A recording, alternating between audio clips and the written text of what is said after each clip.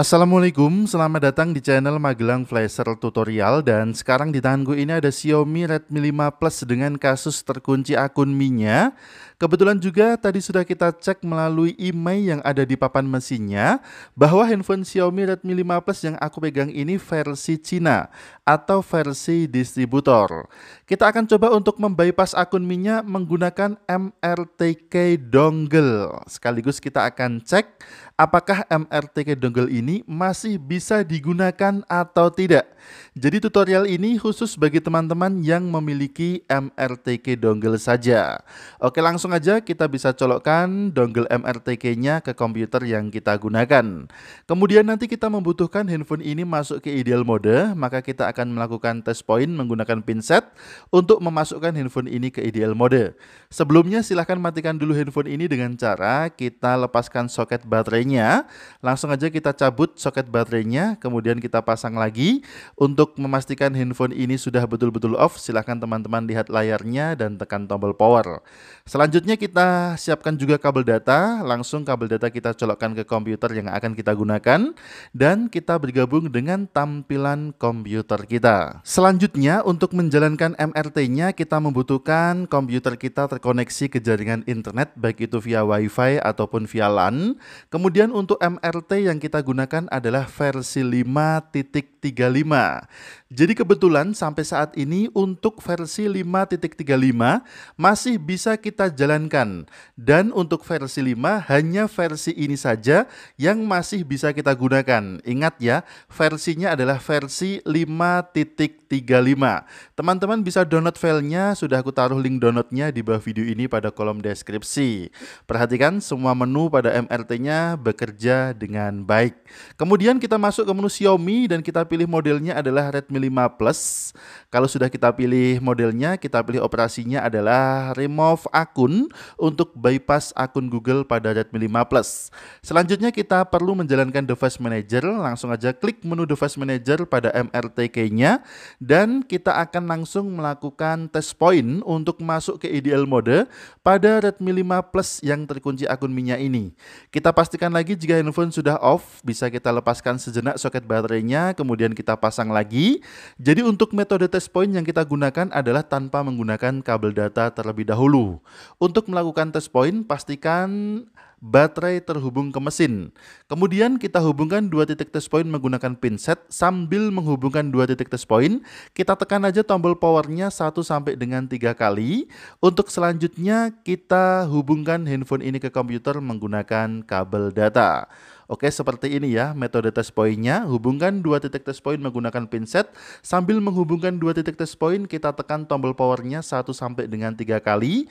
Kalau sudah, silahkan hubungkan handphone ini ke komputer menggunakan kabel data dan pastikan handphone langsung terbaca oleh device manager sebagai Qualcomm LPT kemudian di bawahnya muncul keterangan Qualcomm HS USB key loader 9008 pada COM sekian. Pada posisi seperti ini, handphone sudah terbaca sebagai ideal mode pada COM sekian. Maka tinggal kita samakan saja di kolom port pada MRT-nya, kita pilih COM sesuai dengan yang muncul pada device manager. Kemudian pastikan lagi kita pilih remove akun, modelnya Redmi 5 Plus dan kita klik tombol start. Kita tunggu sampai prosesnya selesai. Memang untuk MRT versi 5.35 ini kecepatan untuk bypassnya tidak secepat versi MRT lainnya. Mungkin saja karena faktor server MRT-nya yang lambat ataupun koneksi yang kita gunakan tidak terlalu bagus. Jadi teman-teman pastikan lagi menggunakan koneksi internet yang cepat. Untuk sementara menggunakan MRT versi 5.35 ini masih bisa dan tanpa mengsetting apa pun. Kita tidak perlu mengedit file host pada Windows kita seperti kemarin kita menggunakan MRT versi 5 dengan versi server India ataupun Indonesia. Menggunakan MRT versi 5.35 ini tidak ada settingan pada Windows kita.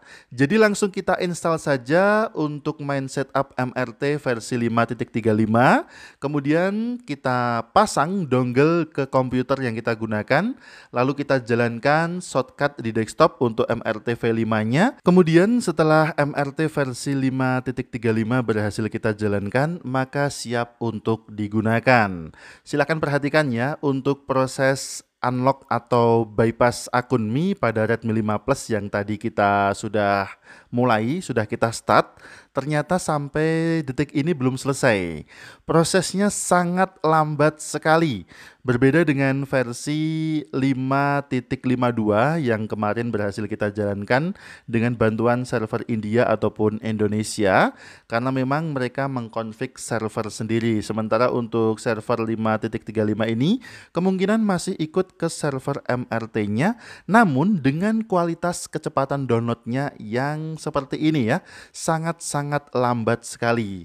Yang jelas bagi teman-teman yang masih memiliki MRTK dongle tidak akan sia sia-sia karena dongle MRT yang kita punyai masih bisa kita gunakan sampai sekarang. Jika ternyata versi 5.35 sangat lambat untuk proses kerjanya, silahkan teman-teman menggunakan MRT versi 3.95 dengan jasa aktivasi pihak ketiga. Namun apabila teman-teman tetap ingin menggunakan versi 5.35 menurutku masih layak pakai dan hasilnya seperti ini. Perhatikan, ada keterangan rebooting, kemudian rebooting mobile dan operation complete. Proses bypass akun Mi pada Redmi 5 Plus sudah berhasil kita lakukan. Tinggal kita cek aja handphonenya. Ternyata handphone ini langsung restart dari ideal mode ke charging mode, maka tinggal kita nyalakan handphone ini. Untuk menyalakannya, langsung aja tinggal kita tekan tombol powernya, kemudian kita tunggu sampai muncul logo Mi di layarnya. Untuk handphone yang aku pegang ini kebetulan juga sudah terunlock bootloader, namun tutorial ini bisa untuk Redmi 5 Plus yang belum terunlock bootloader. Jadi status bootloadernya tidak mempengaruhi baik itu sudah UBL ataupun belum UBL karena proses kerja yang kita lakukan adalah via IDL mode atau via download mode yang kita lakukan menggunakan test point tadi, maka status bootloadernya tidak mempengaruhi. Handphone yang sudah ter-UBL ataupun belum ter-UBL tetap bisa menggunakan metode ini. Kemudian kita tunggu dulu sampai proses loadingnya selesai. Dan kalau sudah selesai proses loadingnya, kita lihat hasilnya. Perhatikan, sudah tidak ada lagi tampilan terkunci akun Mi pada Redmi 5 Plus yang aku pegang ini. Dan kebetulan handphone ini masih menggunakan versi MIUI 9.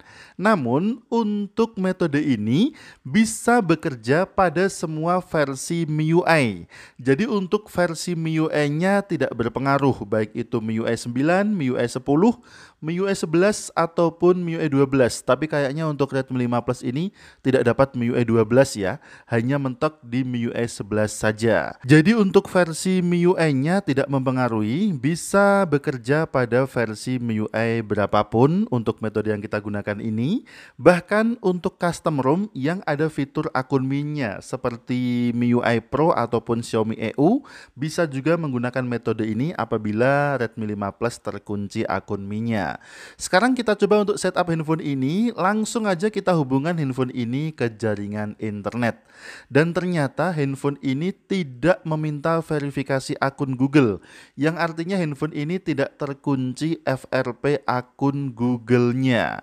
Jika ternyata handphone Redmi 5 Plus yang terkunci akun Mi-nya, kemudian setelah kita lakukan bypass akun Mi, masih meminta verifikasi akun Google, berarti handphone ini terkunci akun Google-nya. Jika muncul tampilan halaman login akun Google seperti ini, berarti handphone bersih dari FRP, tidak terkunci akun Google-nya dan bisa kita lanjutkan setup sampai ke tampilan menu. Untuk yang meminta verifikasi akun Google atau terkunci akun Google-nya, silahkan teman-teman bisa masuk ke ideal mode lagi menggunakan metode test point seperti di awal video tadi. Kemudian bisa bypass akun Google-nya menggunakan MRT lagi dengan memilih menu remove FRP. Jadi sebelumnya kita memilih menu remove akun untuk bypass akun Mi-nya, maka untuk bypass akun Google-nya silahkan gunakan menu remove FRP. Sekarang untuk proses setupnya kita sudah selesai di bagian terakhir.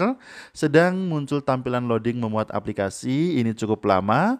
Kemudian kalau sudah selesai loadingnya handphone langsung masuk ke tampilan menu. Kita akan cek dulu ya di setelan. Kemudian kita langsung cek di tentang ponsel. Dan handphone ini betul ya versi distributor dengan kode MEE7 Jadi semua versi bisa menggunakan metode ini, ME7, MET7 ataupun MEG7 bisa menggunakan metode ini.